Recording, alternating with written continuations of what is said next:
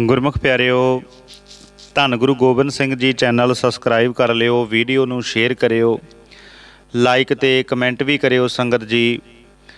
ਅੱਜ ਆਪਾਂ ਕੁਝ ਖਾਸ ਬੇਨਤੀਆਂ ਸਾਂਝੀਆਂ ਕਰਨੀਆਂ ਨੇ, ਸਤਿਗੁਰੂ ਕਿਰਪਾ ਕਰਨ, ਮੇਰਾ ਕਰਨ।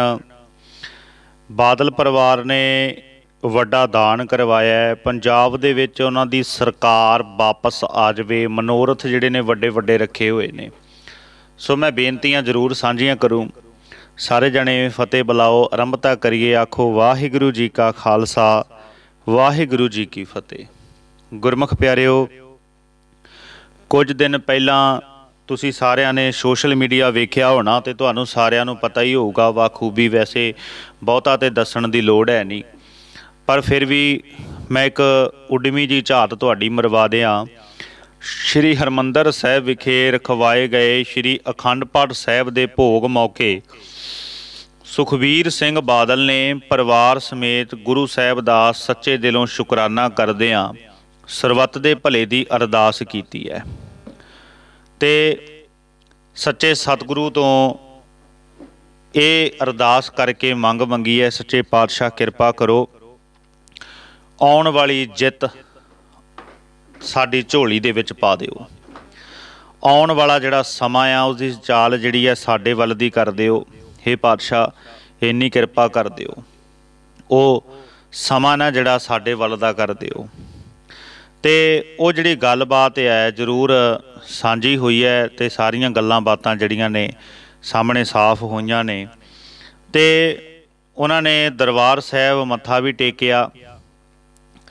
ਦਰਬਾਰ ਸਾਹਿਬ ਨਤਮਸਤਕ ਹੋਏ। ਅਖੰਡ ਪਾਠ ਆਰੰਭ ਕਰਾਏ। ਸਾਰਾ ਪਰਿਵਾਰ ਤਿੰਨ ਦਿਨ ਇੱਥੇ ਰਹਿ ਕੇ ਸੇਵਾ ਵੀ ਕੀਤੀ। ਐਸਵਾਈਐਲ ਦੇ ਮੁੱਦੇ ਤੇ ਪੰਜਾਬ ਹਰਿਆਣਾ ਦੇ ਮੁੱਖ ਮੰਤਰੀਆਂ ਦਾ ਦਰਮਿਆਨ ਹੋਈ ਮੀਟਿੰਗ ਤੇ ਉਹਨਾਂ ਨੇ ਆਪਣਾ ਪੱਖ ਵੀ ਰੱਖਿਆ। ਤੇ ਪੰਜਾਬ ਕੋਲ ਜ਼ਮੀਨ ਹੈ, ਨਾ ਹੀ ਹਰਿਆਣਾ ਨੂੰ ਦੇਣ ਲਈ ਪਾਣੀ ਹੈ, ਫਿਰ ਮੀਟਿੰਗ ਕਰਨ ਦਾ ਕੀ ਫਾਇਦਾ ਹੈ, ਇਹ ਵੀ ਉਹਨਾਂ ਨੇ ਗੱਲਾਂ ਕੀਤੀਆਂ। ਚਲੋ, ਬੜੀਆਂ ਚੀਜ਼ਾਂ ਨੇ। ਮੁੱਖ ਮੰਤਰੀ ਭਗਵੰਤ ਮਾਨ ਵੱਲੋਂ ਗੁਰੂ ਘਰ ਦੀਆਂ ਗੋਲਕਾਂ ਨੂੰ ਲੈ ਕੇ ਦਿੱਤੇ ਬਿਆਨ ਤੇ ਵੀ ਸੁਖਬੀਰ ਬਾਦਲ ਨੇ ਆਪਣਾ ਪੱਖ ਰੱਖਿਆ ਮੁੱਖ ਮੰਤਰੀ ਨੂੰ ਇਸ ਤਰ੍ਹਾਂ ਦੇ ਵਿਵਾਦਤ ਬਿਆਨ ਜਿਹੜੇ ਨੇ ਵਿਵਾਦਤ ਨਹੀਂ ਦੇਣੇ ਚਾਹੀਦੇ, ਗੁਰੇਜ਼ ਕਰਨਾ ਚਾਹੀਦਾ ਸ਼ਾਇਦ ਭਗਵੰਤ ਮਾਨ ਨੂੰ ਗੁਰੂ ਘਰ ਦੀ ਮਰਿਆਦਾ ਦਾ ਨਾ ਪਤਾ ਹੋਵੇ। ਪਰ ਸੁਖਬੀਰ ਸਿੰਘ ਬਾਦਲ ਹੋਰਾਂ ਨੂੰ ਪਤਾ ਆ। ਤੇ ਮੈਂ ਜਿਹੜੀ ਗੱਲ ਕਰਨੀ ਹੈ ਨਾ ਵੀ ਕੁਝ ਲੋਕ ਸੋਸ਼ਲ ਮੀਡੀਆ ਤੇ ਅਲੱਗ-ਅਲੱਗ ਤਰ੍ਹਾਂ ਦੀਆਂ ਗੱਲਾਂ ਬਾਤਾਂ ਕਰ ਰਹੇ ਨੇ। ਠੀਕ ਹੈ, ਬਾਦਲ ਪਰਿਵਾਰ ਨੇ ਪੰਜਾਬ ਤੇ ਰਾਜ ਕੀਤਾ ਹੈ। ਉਹਨਾਂ ਨੇ ਪੰਜਾਬ ਦੀ ਸੱਤਾ ਨੂੰ ਸੰਭਾਲਿਆ ਸੀ। ਠੀਕ ਹੈ, ਕੁਝ ਕਾਰਨ ਰਹੇ, ਲੋਕਾਂ ਦੇ ਨਾਲ ਉਹਨਾਂ ਦੇ ਮੋਹ ਭੰਗ ਹੋ ਗਏ, ਪਰ ਉਹਨਾਂ ਨੂੰ ਹਰ ਇੱਕ ਗੱਲ ਤੇ ਇਦਾਂ ਟਾਰਗੇਟ ਕਰਨਾ ਗੱਲ ਠੀਕ ਨਹੀਂ ਹੈਗੀ। ਠੀਕ ਹੈ, ਗੁਰੂ ਘਰ ਦੇ ਵਿੱਚ ਕੋਈ ਵੀ ਜਾ ਸਕਦਾ ਹੈ, ਕੋਈ ਵੀ ਸੇਵਾ ਕਰ ਸਕਦਾ ਹੈ, ਕੋਈ ਕਿਵੇਂ ਕਰ ਸਕਦਾ ਹੈ, ਪਰ ਆਪਾਂ ਉਹਨਾਂ ਨੂੰ ਇਦਾਂ ਹਰ ਗੱਲ ਤੇ ਟਾਰਗੇਟ ਨਹੀਂ ਕਰ ਸਕਦੇ। ਹੁਣ ਪਤਾ ਹੈ, ਕਈ ਬੰਦੇ ਮੈਨੂੰ ਕਹਿਣਗੇ, ਜੀ, ਇਹ ਬਾਦਲ ਕੇ ਲਾਣੇ ਚੋਂ ਹੈ। ਜਿਹੜੀ ਗੱਲ ਸੱਚੀ ਹੈ, ਉਹ ਕਹੀ ਜਾਊਗੀ। ਗੁਰੂ ਘਰ ਆਪਾਂ ਕਿੰਨੇ ਅਪਰਾਧ ਕੀਤੇ ਆ, ਆਪਾਂ ਵੀ ਤੇ ਗੁਰੂ ਘਰ ਜਾਣੇ ਹੀ ਆ। ਕਹਿੰਦੇ ਜੀ, ਸੁਖਬੀਰ ਬਾਦਲ ਨੇ ਗੁਰੂ ਗ੍ਰੰਥ ਸਾਹਿਬ ਦਾ ਸਰੂਪ ਆਪਣੇ ਸੀਸ ਤੇ ਕਿਉਂ ਚੁੱਕਿਆ? ਮੈਂ ਕਈ ਲੋਕਾਂ ਦੇ ਕਮੈਂਟ ਪੜ੍ਹੇ। ਫਿਰ ਕੀ ਹੋ ਗਿਆ?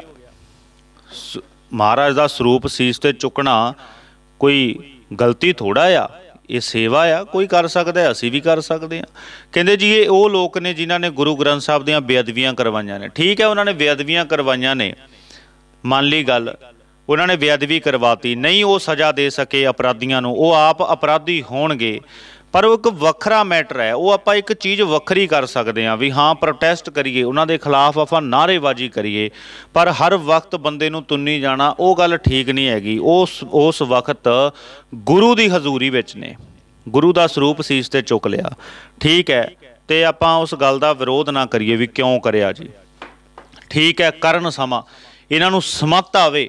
ਇਹਨਾਂ ਨੂੰ ਪਤਾ ਲੱਗੇ ਕਿ ਗੁਰੂ ਦਾ ਸਤਕਾਰ ਕੀ ਹੈ ਤੇ ਗੁਰੂ ਸੱਚੇ ਪਾਤਸ਼ਾਹ ਦੀ ਬੇਅਦਬੀ ਜੇ ਅਸੀਂ ਕੀਤੀ ਹੈ ਨਾ, ਤੇ ਸਾਡੇ ਗੁਰੂ ਦਾ ਅਪਮਾਨ ਹੋਇਆ ਤੇ ਸਾਨੂੰ ਪਤਾ ਲੱਗੇ, ਇਹਨਾਂ ਨੂੰ ਅਹਿਸਾਸ ਹੋਵੇ ਕਿ ਵਾਕਈ ਗਲਤ ਕੰਮ ਹੋਇਆ ਬਹੁਤ ਜ਼ਿਆਦਾ ਗਲਤ ਕੰਮ ਹੋਇਆ ਤੇ ਅਸੀਂ ਸਭ ਤੋਂ ਵੱਡੀ ਜਿਹੜੀ ਹੈ, ਇਹ ਗਲਤੀ ਕੀਤੀ ਹੈ ਗੁਰੂ ਦੀ ਬੇਅਦਬੀ ਕਰਵਾ ਕੇ।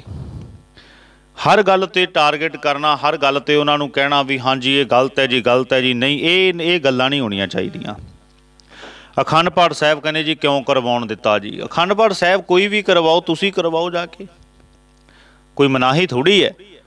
ਸ਼੍ਰੋਮਣੀ ਕਮੇਟੀ ਕਹਿੰਦੇ ਜੀ, ਬਾਦਲ ਦੀ ਆਪਣੀ ਜ਼ਗੀਰ ਬਣ ਚੁੱਕੀ ਹੈ। ਠੀਕ ਹੈ, ਹੋਊਗੀ ਜ਼ਗੀਰ ਆਪਾਂ ਨੂੰ ਕੀ? ਆਪਾਂ ਗੁਰੂ ਕਰਕੇ ਜਾਣਾ ਹੈ, ਬਾਦਲ ਕਰਕੇ ਨਹੀਂ ਜਾਣਾ ਹੈਗਾ ਉੱਥੇ। ਦਰਬਾਰ ਸਾਹਿਬ ਕਹਿੰਦੇ ਜੀ ਕਮਰੇ ਨਹੀਂ ਮਿਲਦੇ ਹੈਗੇ ਜੀ, ਉੱਥੇ ਆਏ ਆ ਜੀ ਸਿਸਟਮ ਠੀਕ ਹੈ ਸਿਸਟਮ ਮਾੜਾ ਹੈ, ਹਾਲਾਤ ਮਾੜੇ ਨੇ, ਆਪਾਂ ਸਾਰੇ ਸਮਝਦੇ ਆ ਕਿ ਸ਼੍ਰੋਮਣੀ ਕਮੇਟੀ ਦੇ ਵਿੱਚ ਕੁਝ ਘਾਟਾਂ ਨੇ, ਸ਼੍ਰੋਮਣੀ ਕਮੇਟੀ ਕੁਝ ਘਾਟਾਂ ਲੈ ਕੇ ਬੈਠੀ ਹੋਈ ਹੈ, ਪਰ ਆਪਾਂ ਹਰ ਇੱਕ ਚੀਜ਼ ਨੂੰ ਖਾਰਜ ਨਹੀਂ ਕਰ ਸਕਦੇ। ਹਰ ਇੱਕ ਚੀਜ਼ ਨੂੰ ਅਸੀਂ ਬਿਲਕੁਲ ਬੰਦ ਨਹੀਂ ਕਰ ਸਕਦੇ ਵੀ ਐ ਨਹੀਂ ਹੋ ਸਕਦਾ ਜੀ, ਇਹ ਹੈ ਜੀ, ਉਹ ਹੈ ਜੀ। ਹਰ ਪਾਸੇ ਠੀਕ ਹੈ, ਬਾਦਲ ਕਾ ਰਾਜ ਹੈ ਤੇ ਆਪਾਂ ਉਹਨਾਂ ਨੂੰ ਇਦਾਂ ਟਾਰਗੇਟ ਕਰੀਏ। ਠੀਕ ਹੈ, ਸੰਗਤ ਇੱਕ ਪੈਨਲ ਬਣਾਵੇ, ਉਹਨਾਂ ਨੂੰ ਸਵਾਲ ਕਰੀਏ। ਅਸੀਂ ਇਕੱਠੇ ਤਾਂ ਹੁੰਦੇ ਨਹੀਂ ਹੈਗੇ, ਘਾਟਾਂ ਸਾਡੇ 'ਚ ਵੀ ਬਹੁਤ ਨੇ। ਇਕੱਠੇ ਹੋਏ ਆ ਅਸੀਂ ਕਦੇ। ਕਦੇ ਇੱਕ ਮਤ ਅਸੀਂ ਇਖਤਿਆਰ ਕੀਤਾ। ਅੱਜ ਅਮਰਤਪਾਲ ਖਾਲਸਾ ਵਹੀਰ ਲੈ ਕੇ ਚੱਲ ਰਿਹਾ। ਲੈ ਬਹੁਤੇ ਲੋਕ ਉਹਦੇ ਨਾਲ ਸਹਿਮਤੀ ਨਹੀਂ ਬਣਾ ਪਾ ਰਹੇ। ਫਿਰ ਅਸੀਂ ਕਹਿੰਦੇ ਆ ਜੀ ਸਾਡੇ ਤੇ ਤਸ਼ੱਦਦ ਹੁੰਦਾ ਜੀ ਸਾਡੇ ਤੇ ਜ਼ੁਲਮ ਹੁੰਦਾ ਜੀ। ਅਸੀਂ ਏਕਾ ਨਹੀਂ ਬਣਾ ਪਾ ਰਹੇ। ਇਸ ਗੱਲ ਦਾ ਜਵਾਬ ਦਿਓ ਪਹਿਲਾਂ ਤੇ ਸਾਰੇ ਸਾਰੇ ਜਾਣੇ। ਸ਼੍ਰੋਮਣੀ ਕਮੇਟੀ ਬਾਦਲ ਤੋਂ ਆਜ਼ਾਦ ਕਰਾਉਣੀ ਹੈ ਤੇ ਤੁਸੀਂ ਏਕਾ ਕਿਉਂ ਨਹੀਂ ਬਣਾਉਂਦੇ? ਆਜ਼ਾਦ ਕਰਾਓ ਬਿਲਕੁਲ ਕਰਾਓ। ਹਾਲਾਤ ਨੇ ਸੁਧਰਨੇ ਚਾਹੀਦੇ ਨੇ ਅਸੀਂ ਆਪ ਕਹਿੰਨੇ ਆ ਸੰਗਤ ਦੇ ਨਾਲ ਉੱਥੇ ਜੋ ਵਿਤਕਰਾ ਹੁੰਦਾ ਉਹ ਨਹੀਂ ਹੋਣਾ ਚਾਹੀਦਾ। ਉਹ ਸਾਰੀਆਂ ਚੀਜ਼ਾਂ ਤੇ ਗੌਰ ਰੱਖਣਾ ਚਾਹੀਦਾ ਹੈ, ਮੱਦੇ ਨਜ਼ਰ ਸਾਰੀਆਂ ਚੀਜ਼ਾਂ ਹੋਣੀਆਂ ਚਾਹੀਦੀਆਂ ਨੇ। ਪਰ ਕਦੇ ਅਸੀਂ ਆਪ ਖੁਦ ਇਸ ਗੱਲ ਵੱਲ ਧਿਆਨ ਦਿੱਤਾ ਕਦੇ ਅਸੀਂ ਖੁਦ ਆਪ ਇਹਨਾਂ ਗੱਲਾਂ ਵੱਲ ਧਿਆਨ ਦਿੱਤਾ ਹੈ? ਤੇ ਕਦੇ ਅਸੀਂ ਸੋਚਿਆ ਵੀ ਸਾਡੇ ਵਿੱਚ ਵੀ ਕੁਝ ਘਾਟਾਂ ਨੇ? ਠੀਕ ਹੈ, ਆਪਣੀ ਸੱਤਾ ਲਈ ਬੰਦਾ ਕੀ ਨਹੀਂ ਕਰਦਾ, ਆਪਣੀ ਗਈ ਹੋਈ ਪਾਵਰ ਲਈ ਕੀ ਨਹੀਂ ਕਰਦਾ, ਅਖੰਡ ਪਾਠ ਸਾਹਿਬ ਦੀ ਸੇਵਾ ਲਈ ਹੈ ਕਿ ਪੰਜਾਬ ਦੀ ਜਿਹੜੀ ਹੈ ਸੱਤਾ ਸਾਡੇ ਦੁਬਾਰਾ ਝੋਲੀ ਵਿੱਚ ਪੈ ਜੇ, ਇਹ ਤਾਂ ਜਨਤਾ ਨੇ ਫੈਸਲਾ ਕਰਨਾ ਹੈ ਵੀ ਝੋਲੀ 'ਚ ਪਾਉਣੀ ਹੈ ਕਿ ਨਹੀਂ ਪਾਉਣੀ।